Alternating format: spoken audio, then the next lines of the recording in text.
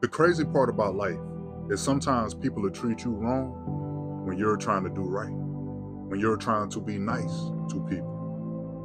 But if you treat them the same way they treat you, you're no longer a person of integrity because you allow them to change who you are as a person. You allow their ways to change your character.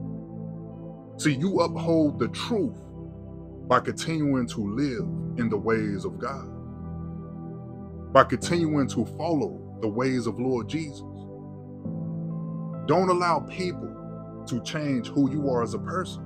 Continue to live in honesty, trust, and most importantly, love. It don't matter what they say. It don't matter what they try to do.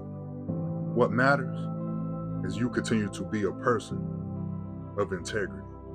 I pray this bless you. In Jesus' name, amen.